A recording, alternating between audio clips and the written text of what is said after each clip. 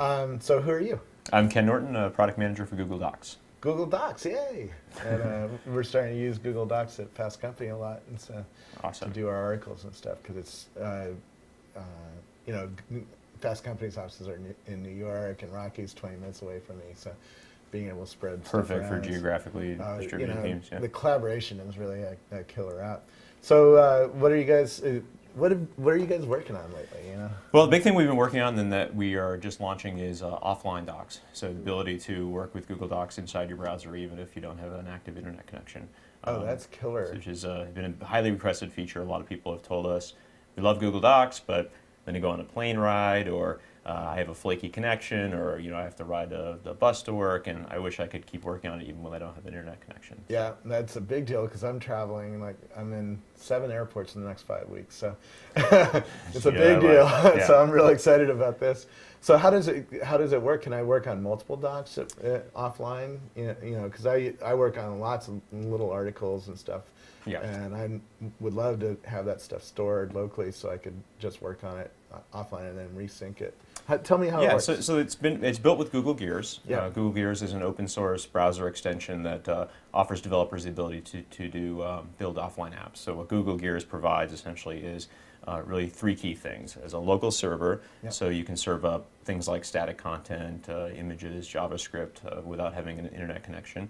Uh, a local database, so a SQL database, full SQL database, um, and then uh, what we call worker pool, which allows you to run uh, certain JavaScript uh, uh, activities in the background. So just overall incre- increases the responsiveness of the application.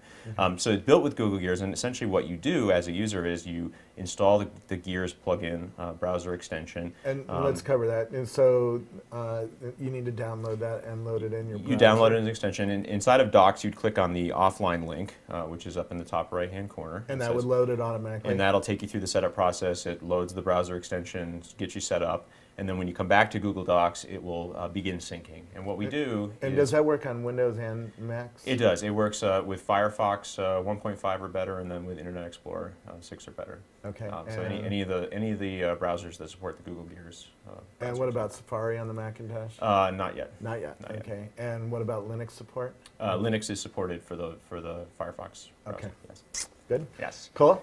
Uh, and so what happens is when you come back to Google Docs, we, uh, we automatically start syncing. So um, it's probably hard to see from, from where you are, but there's a little green icon now up here in the right-hand corner. Yeah. Um, that's telling me that I'm, I'm online.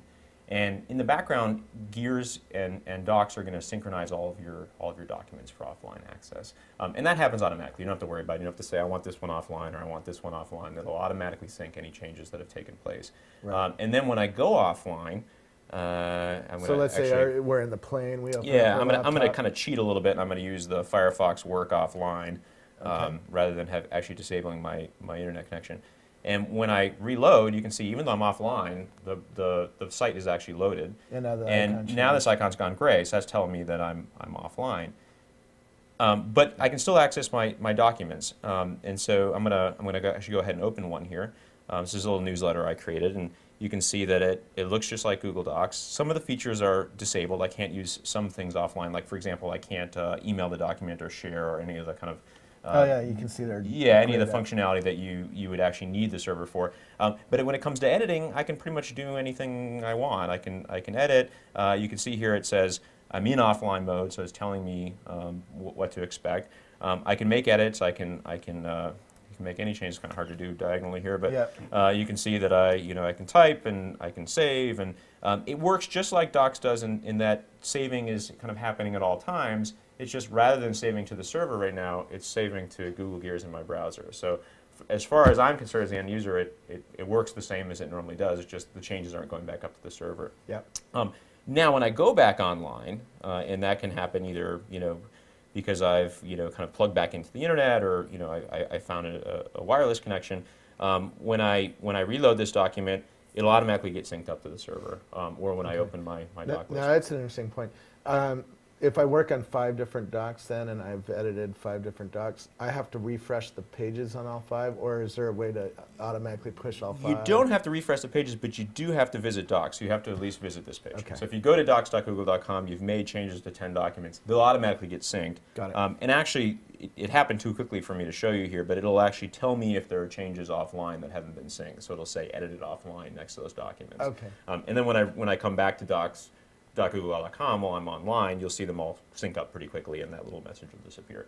Um, but certainly, if you had any collaborators that were waiting for those changes, they're not going to see them until you go back online and, and sync those changes up. So if you were on a plane for five hours, made a whole bunch of changes, your collaborators won't see those documents until you go back online. And, Very and- cool. and. Now, what, what happens if I'm on a plane and I make a bunch of changes, and then Rocky's making changes at the same time on the same documents, but he's online and I'm Right. offline, and then I come to the airport and I sync up?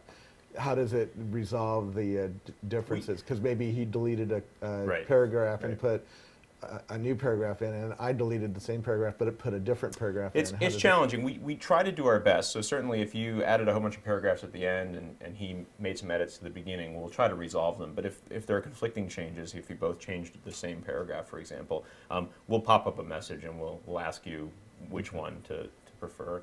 Um, we're, it's an area where we're trying to, to, to improve that. We'd like to, to, to get smarter about detecting changes that are conflicting versus not conflicting. Um, but certainly we can only do our, our best, and we feel it's better to leave it up to the user to decide Yeah. which ones to throw out than for us to kind of arbitrarily decide that your edits are better than his or Right. um, his are more important. So. Right. Um, anything else we need to know about the, the new features coming on? Um, so we're, we're in the process of rolling it out. It's gonna it's not being rolled out to everybody at once. We're rolling it out over the course of a few weeks. Okay. Um, so users will kind of see it increasingly. Um, they just need to look for the offline link up in the uh, top right hand corner. Okay. Um, today it's full offline editing of your word processing documents, um, read only for your spreadsheets, uh, and then presentations are coming in the next few weeks. Ooh, okay. Very cool. Well, Yeah. thanks for uh, showing it to me, and uh, good luck on the uh, Thanks. shipping on the new features. Thank you very much.